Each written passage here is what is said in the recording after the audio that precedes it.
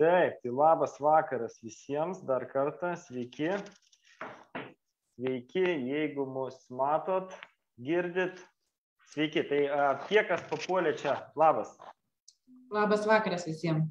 Labas Astijų, labas Inga, kita Inga, Jeva.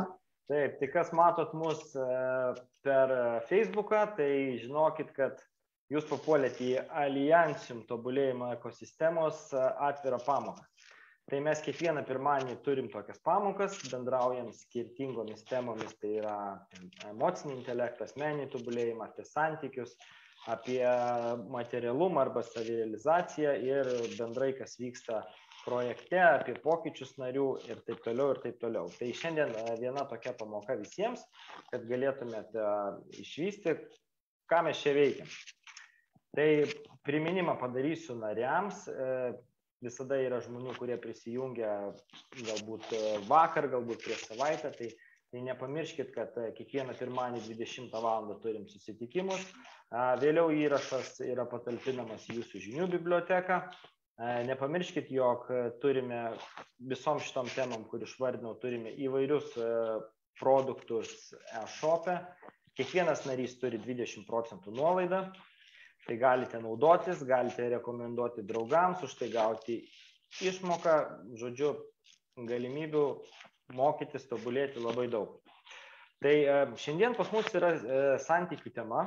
Labai tikiuosi, kad pasiruošėt klausimus. Visi, kas nori, gali ateiti į kamerą, galėsim pabendrauti. E, pas mus visą laiką dalyvauja Evgenijus Černyš, tai jis prisijungs neužilgo galėsite užduoti tos klausimus. E, savo ruoštų dar norėčiau priminti dar keletą dalykų, tai kad yra galimybė e, pas mus būti visiškai nemokamai, tai yra jūs ateinate, rekomenduojate narystę savo draugam, jie, jie prisijungia, jūs atgaunate sumokėtus, sumokėtą įmoką. Tai va tokia yra galimybė. Viską duodam, tik tai naudokitės. E, Dar vienas įdomus dalykas yra Alliančių YouTube kanalas, tai galite prisijungti, prenumeruoti, gausite įvairius video, įvairią medžiagą, ten yra daug visokių naudingų live transliacijų, patarimų, ištraukų iš mūsų lektoriaus dienų, mentoriaus dienų ir panašiai ir panašiai. Tai nariai daug ką žino, jeigu nežinot, prenumeruokit ir naudokite. Tai va, da, dar turime verslo klubą, dar turime moterų klubą, dar turime žinių biblioteką, žodžiu, jeigu norite sužinoti daugiau, prašymė bus nuoroda, įsigykit narystę, prisijunkit, ateikit šalia mūsų ir pabendrausim. Taip, tai vanariai po truputį baigė jungtis. Ar pasiruošę klausimams? Dar vienas dalykas, ką prisiminiau. Dar vienas dalykas. Tai turime Alijansium organizuoja stovyklą į Kiprą. Tai visi, kas e, norit, 8 e, dienos, 7 nakvynės, 5 žvaigždučių viešbutį, nuostabi kelionė, turėsime mokymus stiprius, bus labai geras laikas ir pailsėti, ir sujungti šitus du dalykus vidiniai transformacijai, mokomės, ilsimės, mokomės, transformuojam, einam, darom, žodžiu, įspūdinga. E, Labas, labas, prisijungė dar, prisijungė, matau, ir Viktoras, ir Nijolė, sveiki, malonu Jūs matyti. Tai ar paruošę klausimus?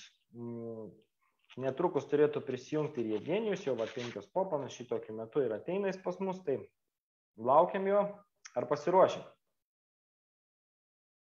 linksit galvą. Manau, kaip visada, tų klausimų eigoje iškyla, nes e, tema yra aktuali, santykiai, kiekvienas jų turim, nebūtinai su antra pusė, bet ir su aplinka, su darbdaviais, su kaimynais, su visa visa aplinka. Tai manau, tikrai iškyla tam tikrų situacijų gyvenime, kada jas reikia spręsti ir kartais nežinai, kaip išspręsti be konfliktų. Tai santykių tema puikiai tam tinka. Ir manau, tikrai klausimų bus. Labas, Evgenijai. Labas visiems. Kaip laikotės? Sveiki, gyvi visi. Nu gerai, šaunoliai. Kaip ten sako, nekosikit, ne? Geras labai palinkėjimas. Visi matau, šypsosi, nuotaikos puikios. Taip, gerai. Pas mus niekas neserga. Nu, ačiū Dievui, nu kas, kaip ten sakom. Sveikata, negi, brangiausias, viską kitą užsidirbti galima. Tai užsitarnauti, užsidirbti, ne, surasti. Sveikata šiek tiek sunkiau, nors jie irgi galima. Irgi galima dirbti su ją. Taigi, pas mus šiandien santykiai, ne, ir klausimai atsakymai, ir šiaip įvairūs, ir insight ir taip toliau. Ai, mes dabar šiandien kažkaip viešai ten, jo 10-15 minučių, nu, kad parodyt, ne, kaip vyksta. Tai aišku, dėl to visi galbūt kuklinasi dabar. Užduot klausimą. nu gerai, bet vis tiek pradėkit. Kaip jums? Taip, tai šiandien yra vieša pamoka, jeigu kažkas mato, tik dabar pradėjo žiūrėti, tai žinokit, kad mes tokius susitikimus e, turime bendruomenėje kiekvieną pirmadienį.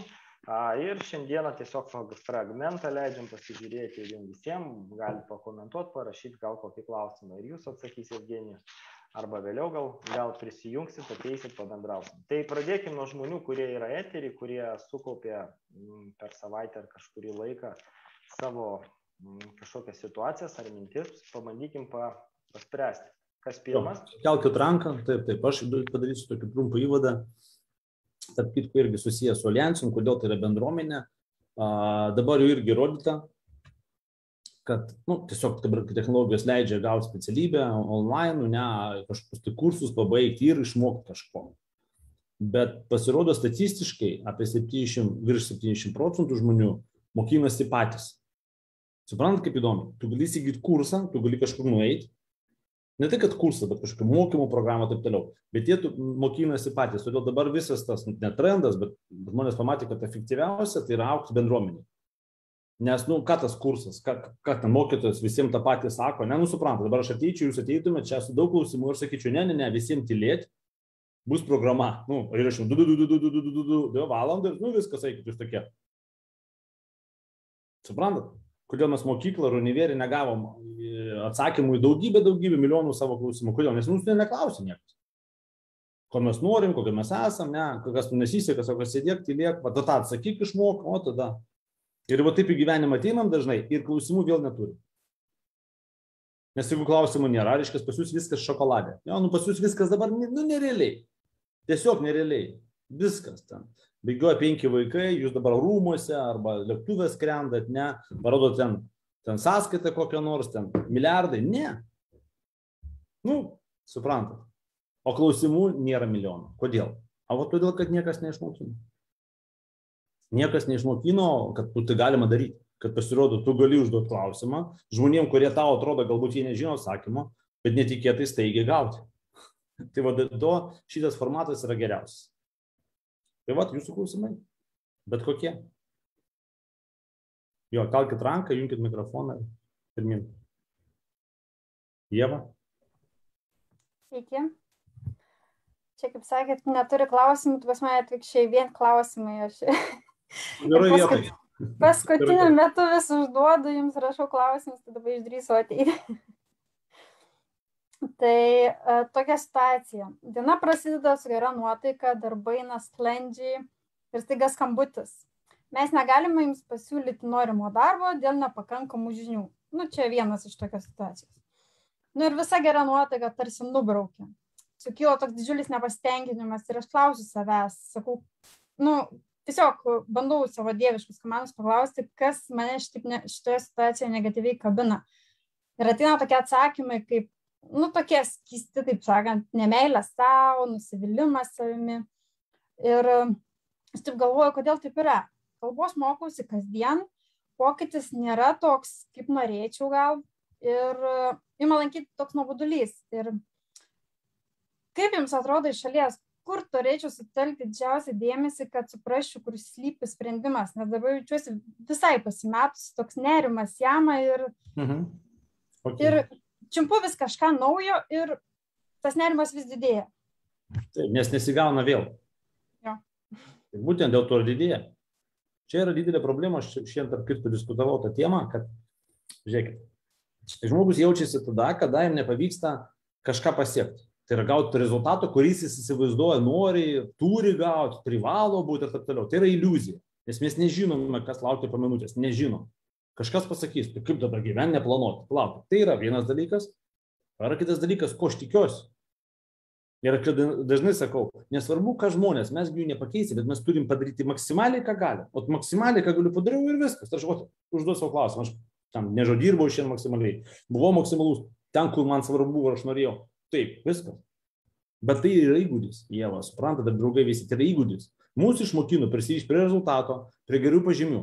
Bet pažymius gauti gerus, ne problema. Dėl to, kad tu iš turi išzubrinti kažką ir papasakoti. O gyvenime, ką išzubrinti gyvenime, Jėva, kad gauti darbą? Nėra tokio. Nu, nėra tokio dalyko, suprantate, ir toliau atitinkamai pas mus iliuzija sudužo, iliuzija sudužo ir mes tada, aš nevykėlis, man nieko nepavyksta, ne, nu mesgi matuojam save kaip, kaip mūsų išmokino. Gerai mokiniesi, šaunuolis. O kaip gerai mokintis gyvenime? Kaip būti, kaip kas yra šaunuolis? Aišku, atsirado rezultatai, nu, tai reiškia, karjera, uždarbis ten mėnesinis kažkoks, nu kažkokia ten įvažias šeimanų kažkam, tai taip ar taip ar kitaip. Nu, vat, atsirado tokie rezultatai. Jie gal kaip ir turi būti, ne? Bet čia irgi taip pat gali prisirišti prie jų. Ir vat kaip gyventi, mėgautis su to, ką darai ir nu, nesitikėti nieko. Ir čia vėl ateina tie patys, reiškia, turi daryti, ką nori, o kad daryti, ką nori, turi žinoti, ką nori kas tau skirta, kodėl aš tos testus visus sukūriau, ne, kodėl va, tas pačias va, tokias pamokas darau, tam, kad ištestuot, sakyti, va, man tai skirta, neskirta, ne, ar aš ten teisingai va ten žiūriu ar ne. Ir va taip po truputuką jūs keičiatės. Ir tai užima metų metus, o kaip jūs įsivaizduojate? Pasikeisti iš kažkokio tai vienokio žmogaus, kuris suformavo tą aplinką, jūs dabar nevertinu gerą blogą, tiesiog suformavo, jums netinka tokiu būti, man irgi, aš irgi nusivildavau, mane visi pavesdavo, nusivildavo, ne, nesilaikydavo, nu, visi buvo kaltys, kuris, nu, aišku, man. Nu, aš buvau nuostabus, pats nuostabiausias žmogus pasaulyje. Visi kiti buvo nevertyti, ir taip toliau. Nu, kaip ir visur. Ir vat pirmas, su kuo reikia dirbti, taip, o dabar tu sakai, man atėjo, kad nėra meilė savo, be abejo, kas yra, e, kaip, kas yra e, mylėti save? Tai yra priimti, koks esi. Pirmas požymis. Jo, priims save, koks esi. Tu nepriimi savęs nepasiekiančios tikslų, jo ten, nu, visus savo, tu, ką tu nori pasiekti, tu nepriimi save tokios, tu priimi save tik tai tokia, kada, o tai jeigu aš nusinčiau CV ir gavau darbo pasiūlymą, o, o tokia aš save myliu. Tai kaip čia? Tai aišku, kad nemelė savo. Mylėti save apsikakojus reikia. Ne, ne tai, kad įsimylėti ir tą, žinai, bet tiesiog, nu, aš priimu save, myliu, koks esu ir tobulėju. Tada daug lengviau gyventi. Koks buvo dar pas tave, nemelė savo, kas dar buvo nemeilė savo ir nepasitenkinimas. To, Savimi. Mm, nu, tai į tą pačią pusę. Į tą pačią pusę visiškai. Nu, kaip gali būti pasitenkinimas savimi, jeigu tu nu, nieko nepadarai, nieko nepasiekė, nieko, tau nieko nepavyksta, tai kaip tu gali būti pasitenkinęs. Nu, taigi viskas. Tai čia... Žinai, jie, žinai šitą posakį mano mėgimą. Sėkmingiausi pasaulyje žmonės, didžiausi nevykėliai. Nes sėkmingiausi tie, kurie tiek darė, bet jiem 99 procentai nepasisekė, bet jie nesustojo. Jeigu būtų prisirišęs, jie prie rezultato. Tai iš namų neišeitų. Ir todėl tie visi, kur sėkmingi, nualė neklysta, nu žinote tie majo, kad neklysta, atseit, nu tiesiog kiek klysta labai mažai. Nu, taip, niekas neklysta, nu bet kiek klaidų galima padaryti. Veikliam žmogui, ne, kur ten, nežinau, bendrauja su šimtais, ten jo veiklų daug, ne, kiek jis padaro klaidų per dieną ir kiek kitas. Nu, net, pavyzdžiui, mes, ne, ten, pavyzdžiui, dabar stovykla pas mus bus.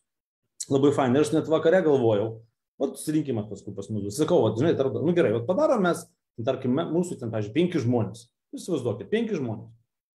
Ir mes, kažkas kabliuko neuždėjo, kažkas ten taškelį, kažkas žodį, ne? Ir mes visi tik po vieną klaidą padarėm per dieną. O klaidą per dieną, bet ta klaida būna na, Facebook'e, būna YouTube, būna laiške, la la la. Ir dar žiūri kokios penki sąlyčio taškai su, jo, su auditorija. 5 kart 5, 25 į vieną dieną. A jeigu 10 dienų. Bet dabar, jeigu mes prisirišom prie to, o Dieve, parašiau su klaida, ką dabar galvos, a jeigu mama pamatytų, jeigu mano dėsiu tai ten lietuvių kalbos ar dar ką nors, nu tai viskas, depresija ir tada... Suprantat, kaip įdomiai. Ir iš to reikia išsivaduoti.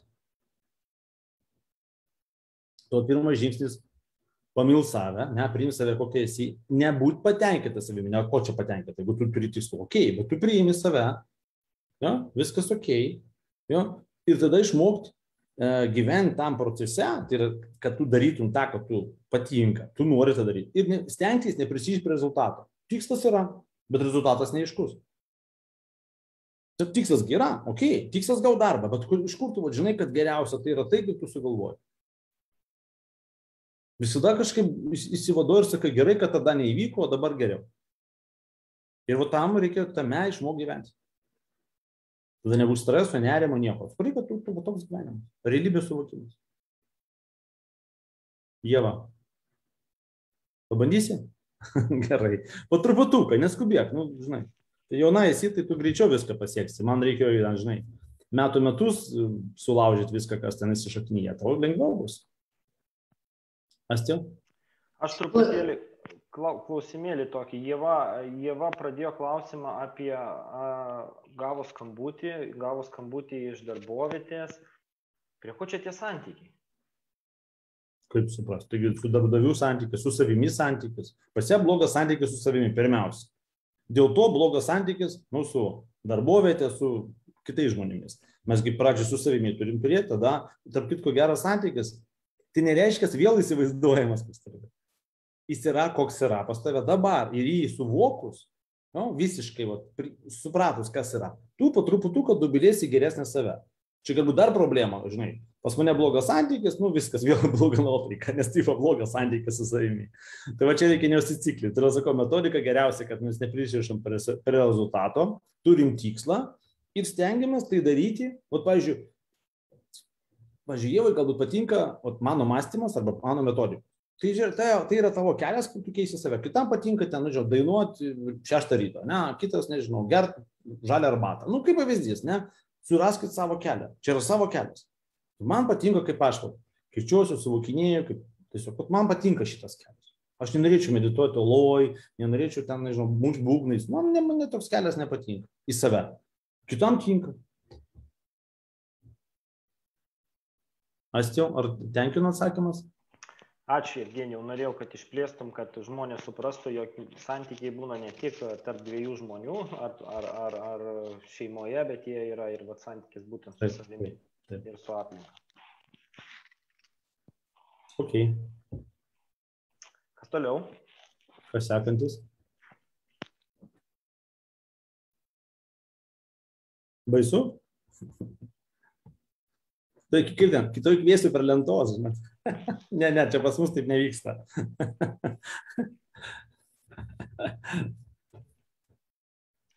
tai ar turit kažkas dar klausimų iš tų, kas eterį yra? Nes pirmumas, e, pirminybė visada kas eterį, o po to mes perinam prie kokio laiškų atsiųstų klausimų, ar ten čatos, ar kurį mes taip pat atsakinėjom. Marius kėlė ranką, taip? Aš tiesiog nepaklaus, tiesiog norėčiau padėkoti Evgenijui, nes tiek laiko bijau kažką pasakyti, bet pradėjau tave žiūrėti YouTube'ai ir kažkur buvai sakęs, kad galbūt aš to nedarysiu ilgai, čia dar va pa, padėsiu, kažką duosiu ir išvarysiu, kur į kalnus ir gyvensiu. Nežinau, ar atsimeni, bet aš prad... prieš tris metus kažkur pradėjau taip sekti, žiūrinėti tave ir galvoju, bralčia, seni tie įrašai, negis jau viskas, gal jau jo nebėra, gal jis jau kur nors tenai. Tai va, ačiū. O kai patabulėsiu, kai būsiu gudresnis, gal kažką sugalvosiu paklausti. Bet kol kas saviugdos užtenka. Nu, taip, sočiai visko. Aišku, labai norėčiau į, į tai kelionė su jum, bet nežinau, dar svarstau ir iš Anglijos čia kaip, kaip su kuo, nu, žodžiu, nežinau, bet. Anglijos pas mus, man atrodo, penki žmonės likti skrenda, tai susiorganizuo kartu bus nu, geriau, susiorganizuosi, davažiuoti atvykti ir taip toliau. Jie ten kažkaip viešbutį įma, o paskui pas mus ateis. Tai žodžiu, su tavim susisieks ir papasakos. Ar jau parašyk? Aš pagalvosiu. Žodžiu, ačiū Evgenijau, kad nepasidavai, kada kad Gerai. toliau važiavai, kad neišvarai kalnus. Dėkui. Gerai. Ačiū. Mariu, parašyk man gerai, papasakosiu daugiau apie Angliją.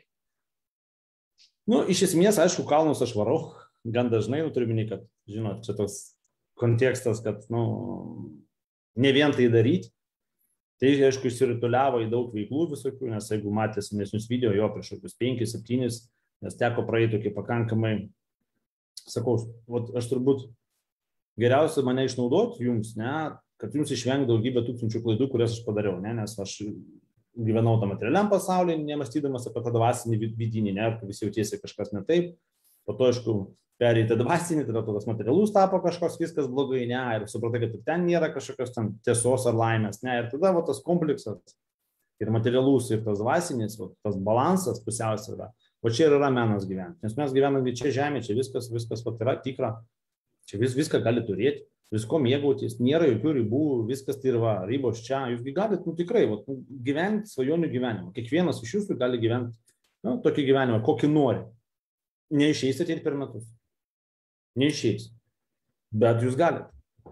Viskas. Tai ar, ar verta pabandyti? Tai aišku, vis tiek ilgai visi gyvensim. Suprantat, ne, kad technologijos tobulėja ir taip toliau, mes tikrai ilgai gyvensim. Atitinkama, ko blogai, tai sakykime, sakykime savo, aš dabar tik pradėjau. Nu, dabar, vat, gimiau ir pradėjau. Viskas. Daugis savo ten 10 metų. Ir gyvensit 100 procentų. Jeigu važiuosit į stotką, paprašysit, padarysiu jums gyvenimo strategiją. Tiesiog pat ką daryti, pavyzdžiui, 5 metus, kad ateit ten, kur norite. Ne, bus sudėtinga, bet įmanoma. Negalėsi pasakyti, kad tai yra nerealu. Vat nu negalėsi.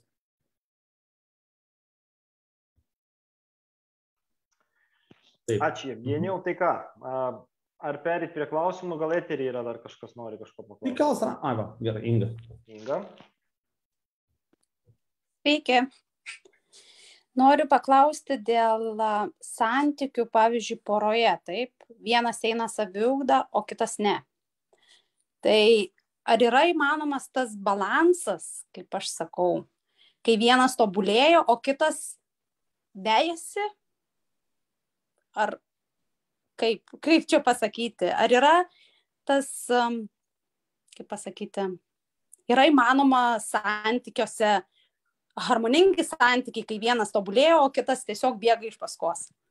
Supratau, geras klausimas užduotas kokį tūkstantį kartų, atsakysiu, su malonumu atsakysiu tūkstantis pirmą, su malonumu. Tai visada būna fainai, va dabar kažkodėl taip tenka kalbėti, kad būna, jeigu nu, gyvų nėra konferencijų, ne, ne, ne, neram, tai va stovyklose būna ir atvažiuoja pora. Ir labai įdomiai būna visada kažkaip ne taip, kaip jie įsivaizduoja, kad tai nu, vienas salė auga, o kitas ten pavyzdžiui ne. Nu, tarkim, daug yra variacijų. Aš atsakysiu tiesiog keletą pavyzdžių, ne, kad būtų aišku, paskui pabandysiu atsakyti ingai taip tiesiai į jos klausimą. Mažiau būna variacija, ateina moteris. Aš, bet lengva, aš pozityvi, aš va tokia tokia, su suknelė sukinėjusi, va ta augu, tikrai įdomi, gili visko, vyras ten sėdi. Jo, jo, brangio, okei, okay, brangio. Okay. Ir va, jis neauga, jis nieko nedaro, la la la. Pas mus buvo tokia važiavus tokia stovykloje, žinau, gal, gal ir Turkijoje net, nežinau, tokia vaik, pora, su dviem, trim berniukais, man atrodo. Taip reiškia, pagal amžių. Ir vad moteris tokia, la la la, la la la, la la, vyras toks. Oi, mane čia vėl tas savyguda, čia, nu, nu, čia, žinai, sakau, kaip nuostabu, kokia tu faina, viską taip, sakau, vyras, va, toks, va, nedvasingas, va, neskaito knygų, jo, jo, sako, jinai taip, sako, gerai, o kas už visą tai moka? vyras taip, jis jau jokėsi. Bet yra jo dvasingumas, augimas, yra įvairūs moteris oras, nu, kaip eteris, vyras žemė, ne? Ir mes dabar ką darom? Mes dažniausiai santykiuose manom, ką padaryti kaip aš. Tada kur pusiausvėra? Tai nereiškia, kad vienas, nu nežinau, nieko nenori, o kitas visko nori, ne? Čia labai subtilu. Ir aš negaliu atsakyti, nu, idealiai, sakau, kad būtumėt atsidėtumėt kaip pora, tai man ten buvo akivaizdu, jis ten rūpi, viskas pas jūs čiki. Nu, jinai, va, o, jinai tai. O jis tai turbūt galvoja, ai, tas skraido, nu, aš va čia. Ir vat jie kaip jau taip suprato šitą dalyką, pas juos šūnį nusiramino, reiškia, jie, ai, tai čia jo ir yra tas visas augimas. Taip, jis irgi galvoja, nu tai čia dievai nesupranta, ne, kad. Ir jie ten nu, nerealiai sutarė viskas, ten vyriausias prižiūri tą vidutinį mažiuką berniuką, tas kitą, ten, nu, žodžiu, ten su mumis tūsina, tie vaikai ten patys sako, jūs nebijot, ne, sako, suaugę visi bernai, nu, žodžiu, labai čiotkai vis, viskas. Todėl, suprantat, dabar jeigu atsakyti tiesiai klausimą, iš esmės, klausimą, nu pagalvokite, visgi porą apjungia vieni tikslai. Nu, tikslai. Nu, jeigu vienas nori to, o kitas to, tai kaip? Nu, vienas žaidžia futbolą nori žaisti, o kitas į krepšinį. Nu, tai neįmanoma, jeigu skirtingi dalykai. Suprantat? Ir todėl, kas jas apjungia? Nu, nu, netyčia, aistra, dar kažkas. Ne, tai yra neprotingi pasirinkimai būti kartu. Būti kartu, kad mūsų iš vien mes norim to pačio, mes žinom pasaulio taip pat, mes sprendžiam situacijas taip pat. Jo, mes esam panašus, mes komanda, mes šeima, mes norim to pačio. Čia idealu. Čia aš papasakau, kaip idealu turėtų būti. Tai dabar kaip iš 8 milijardų žmonių surasti savo, kuris va toks. Kaip? Reiškia, tada, kas, kas, tada ką reikia daryti? Dirbti su santykiais, dirbti su savimi. žiūrėti, ant kiek tu gali prisitaikyti, prisiderinti, ne, prie kito žmogaus, ant kiek jisai gali. Ir va čia tada pradėjo vadinti, kad santykiai yra darbas. Nes, nu, kaip suras dvynį, ne, tokį idealų kažkokį. Nu, praktiškai nėra galimybių.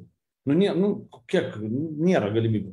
Reiškia, randat maždaug. Ir dar čia atsiranda šitas klausimas. Ar mes auksim santykius? Jeigu mes auksim santykius, mes susiderinsim. O jeigu aš auksiu, o tu ne, mes nesusiderinsim. Suprantat? Nėra idealių, nėra, o, sulypo, nu kiek, nu čia sakau, vienas ant milijono, ne, kaip pavyzdys. Ir tai irgi dirba jie. Jo, bet jiems galbūt nu, šiek tiek lengviau. Artima aplinka, nežinau, ta pati mokykla ir taip toliau. Nu, jo, ir jiem kokia ten savybūda, kokia mano tėvai ten, 50 metų kartu nuo mokyklos ten, 8 klasės, kokią savybūdą jūs juokaujate? Ką? Tris vaikai. Tiesiog nu, taip sutapo, taip sutapo, suprantate.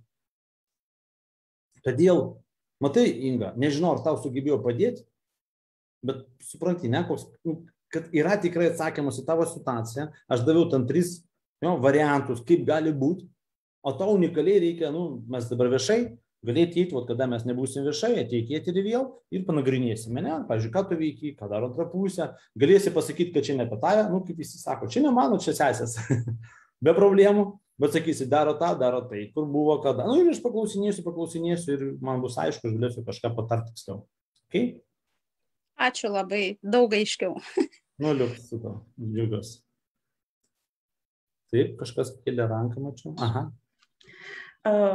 su Ingos susijusiu klausimu noriu paklausti dar. O jeigu vienas turi vienus norus, kitas turi kitus norus, bet gal galima kažkokius tai bendrus norus, tikslus susitarti arba įsikalbėti, kad gal vieno norai ten iš tikrųjų nėra ten jo norai ir kito gal irgi ten netokie. Matai, čia tai yra esmė, ar tie žmonės dirba su savimi. Suprantate, koks dalykas. Čia yra esmė. Galima sutarti su bet kokiu žmogum, jeigu jisai nu, pripažįsta, kad jis nėra tobulas, kad jis neįdėlus, ne, kad jis neteisus, o tiesiog jis dirba, jis sako, gal taip, gal ne. Ir jie aiškinasi. Ir galima įsiaiškinti. Ir tada taip, aišku, galima. Šiaip aš iš vis manau, kad nori turbūt skirtingi tikslai vieni. Nu, žinai, vyras, nu, vyras šeima nori namo. Tai vyras nori jį pastatyti, o žmonagi nenori plytas nešioti, tai nori jį ten kaip nors pagražinti, ne, ar ten daržus. Ne, nu taigi čia, žiūrėk, norai skirtingi, tikslas vienas. Yra skirtingi keliai į tą tikslą. Ir aš manau, kad kartais taip pat gali būti, kad vienas susijima saviugdą, mokinasi, žiūri ten YouTube videos, bet uh, kitas to nedaro, bet jisai gal net ir protingiau kažką tai pagalvoja ir pasako. Taip, yra tokia. Taip. Yra, kur, nu, žiūrėk, galima, gali būti tokie žmonės du. Vienas dešimtokas, o kitas antrokas. O amžių vienodi. Gali būti? Gali. Tai aišku. Aš girdi, tai, tai ką aš suprantu ir žinau, taigi aš ne iš to, iš medžių iškritau sužinojau, ne? Tai yra gyvenime buvo milijonai įvairių įvykių, kurie suformavo mane tokį žmogų. Evgenijau. Mhm. Noriu sekundėlę. Mes pabuvome eterį, pratesiant tavo mintį, noriu pasakyti žmonėm, kad jūs matėte Alijansin viešą pamoką ir mes keliaujame toliau į savo uždarą erdvę ir e, pratesnėsim klausimus ir bendravimą. Tai su jumis buvo Alijansim tobulėjimo ekosistema, pirmadieninis susitikimas. E, ačiū visiems, kas žiūrėjo, o mes važiuojam į pamoką toliau. Taigi, Evgenijų gali tęsti. Tai tiesiog, vėlgi, žinai, čia reikėtų kaip žiūrėti, reikėtų žiūrėti realią situaciją. Ne?